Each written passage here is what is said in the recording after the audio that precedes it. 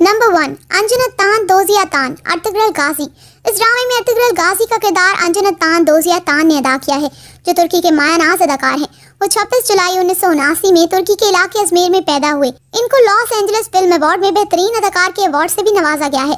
पाँच साल कबल इनकी शादी हुई, इनकी बेगम का नाम नेस्लीसा है और इनका एक बेटा भी है। नंबर दो सरदार गो खान सलेमान शाह सलेमान शाह काई कबीले के सरदार हैं और ड्रामे में अर्तगरल गाजी के वालिद का किरदार अदा कर रहे हैं, जो कि अर्तगरल के अलावा गंदो गदो संगर तगीन और दंदार के भी वालिद हैं। सलेमान शाह का असल नाम सरदार गो खान है और वह तुर्की के ड्रामा और फ़िल्मों के मायानाज और तजर्बाकार अदाकार हैं।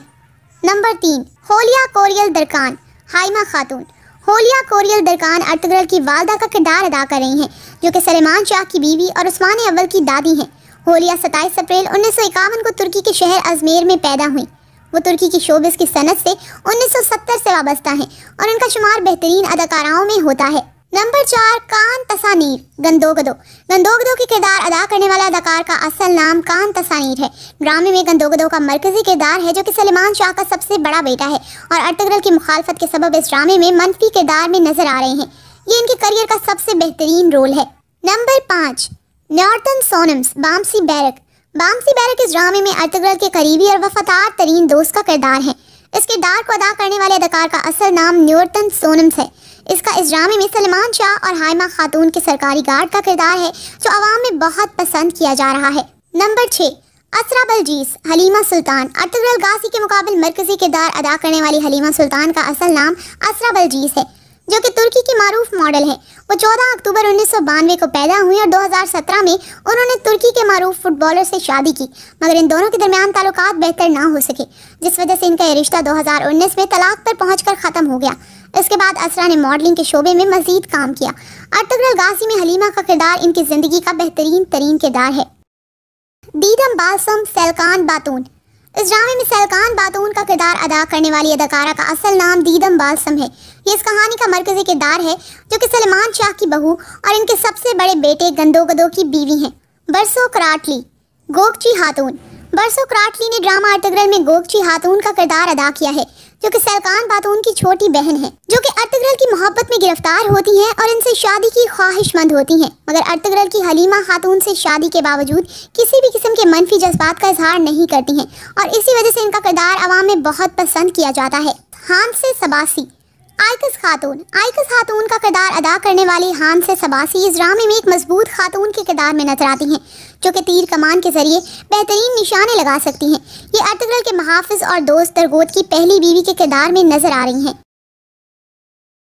ਤੁਹਾਡੀ ਦੁਆ ਚਾਹੀਦੀ ਹੈ ਮੈਂ ਕੱਲਾ ਹੀ ਵੱਧ ਕੱਪ ਲਿਆ ਸਕਦਾ ਸੀ ਮੈਨੂੰ ਕੀ ਪਤਾ ਸੀ ਵਿੱਚ ਚਬਲਾਂ ਵੀ ਆਈਆਂ ਨੇ ਤੁਸੀਂ ਵੇਖ ਲਓ ਇਹਨੇ ਮੇਰਾ ਕੈਚ ਇੰਜ ਛੱਡਿਆ ਜਿਵੇਂ ਗੇਂਦ ਨਾਲ ਕੰਡੇ ਲੱਗੇ ਸੀ ਆਪਣੇ ਖਿਲਾੜੀਆਂ ਦਾ ਗੁੱਸਾ ਮੈਂ ਐਵੇਂ ਆਸਟ੍ਰੇਲੀਆ ਦੇ ਖਿਲਾੜੀਆਂ ਤੇ ਕੱਢਦਾ ਰਿਹਾ ਵਾਂ ਉਹ ਤੇ ਵਿਚਾਰੇ ਬੱਲੇ ਨਾਲ ਮੇਰੀ ਗੇਂਦ ਇਸ ਤੋਂ ਰੋਕਦੇ ਸੀ ਕਿਤੇ ਗੇਂਦ ਉਹਨਾਂ ਨੂੰ ਵੱਜ ਨਾ ਜਾਏ ਜੇ ਅੱਜ ਮੇਰੇ ਕੈਚ ਭਰੇ ਜਾਂਦੇ ਤੇ ਅਸੀਂ ਤੁਹਾਡੇ ਕੋਲੋਂ ਜੱਫੀਆਂ ਪਾ ਪਾ ਕੇ ਇੱਕ ਦੂਜੇ ਦੀਆਂ ਵੱਖੀਆਂ ਪਾਉਂਦੇ। ਇਹ ਵੇਖ ਲਓ ਜਦੋਂ ਇਹਨੇ ਮੇਰਾ ਕੈਚ ਛੱਡਿਆ, ਗੁੱਸਾ ਕਰਦਾ ਸੀ, ਇਹਦੀ ਧੁੰਨੀ ਦੇ ਵਿੱਚ ਯਾਰ ਕਰ ਮਾਰਾ। ਬਹਿਰਹਾਲ ਸਾਡੇ ਬੈਟਸਮੈਨਾਂ ਦਾ ਵੀ ਕਸ- ਇੱਥੇ ਤੇ 3-400 ਸਕੋਰ ਗਲਤੀ ਨਾਲ ਹੀ ਹੋ ਜਾਂਦਾ ਵਾ। ਆਪ ਤੇ ਕੋਈ ਕੰਮ ਕਰਦੇ ਨਹੀਂ, ਸਾਰਾ ਕੰਮ ਮੇਰੇ ਕੋਲ ਹੀ ਲਈ ਜਾਂਦੇ ਆ।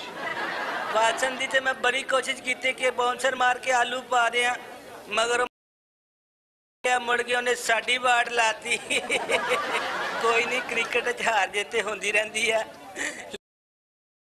ਜਾ ਕੇ ਸਾਡੇ ਖਿਲਾੜੀਆਂ ਨਾਲ ਹੋਣਾ ਉਹ ਕਦੀ ਨਹੀਂ ਹੋਇਆ ਹੋਣਾ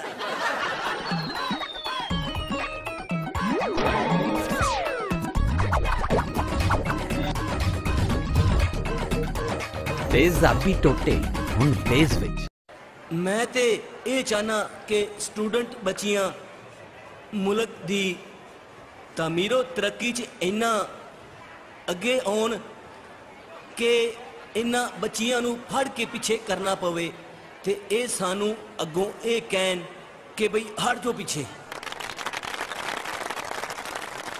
ਹਰ ਕਾਮਯਾਬ ਮੁਲਕ ਦੇ ਪਿੱਛੇ ਇੱਕ ਔਰਤ ਦਾ ਹੱਥ ਹੁੰਦਾ ਹੈ, ਪਰ ਸਾਡੇ ਮੁਲਕ ਪਿੱਛੇ ਕਿਸੇ ਦਾ ਵੀ ਹੱਥ ਤੇ ਨਹੀਂ, ਅਮਰੀਕਾ ਦੇ ਧੱਕੇ ਜ਼ਰੂਰ ਆ।